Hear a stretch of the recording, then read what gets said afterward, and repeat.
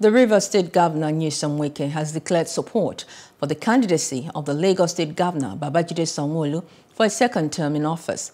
Wike made the declaration on Tuesday as a special guest of honor at the 2022 Annual Conference of Committee of Wives of Lagos State Officials, COWLSO in Lagos. Plus TV correspondent Lobby Kukoyedeko tells us more in this report.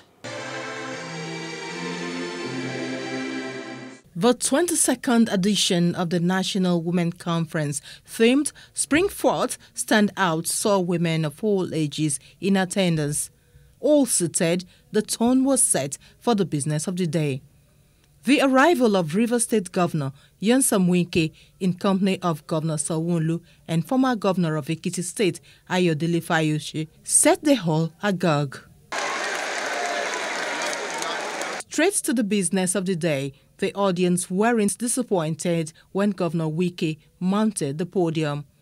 He said he's happy to be at the event and declared that Governor Sanwo-Olu has performed so well in Lagos State, therefore deserves a second term in office. If Sanwo-Olu is not doing well, even if he belongs to my party, I won't come.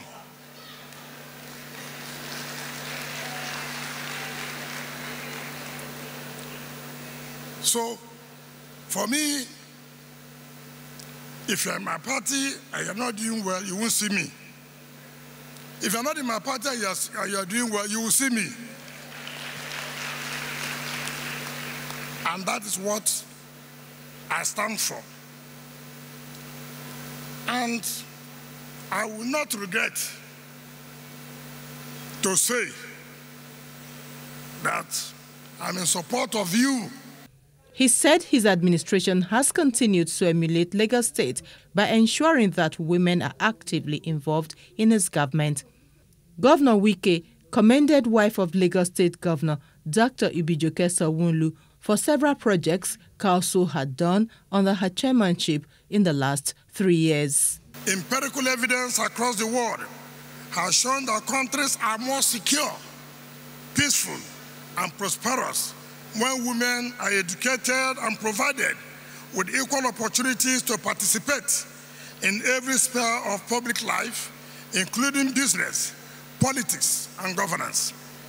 Indeed, our country is more likely to experience stronger and more inclusive economic growth and reduce poverty when women are empowered Host Governor Babajide Sanwo-Olu commended organizers of the conference for their positive contribution to the state.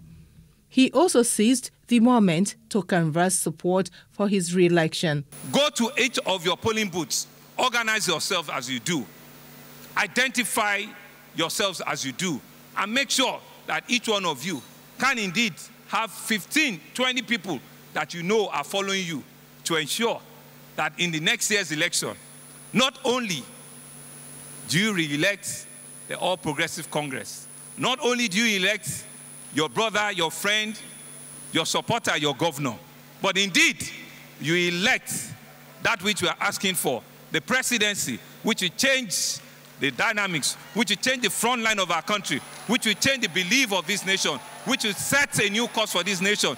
Dr. Ibijoke Sanwo-Olu described this year's theme as apt, urging all women to lend a helping hand to one another. Love Ikuku Oyedoku, Plus TV News. Hello, hope you enjoyed the news. Please do subscribe to our YouTube channel and don't forget to hit the notification button so you get notified about fresh news updates.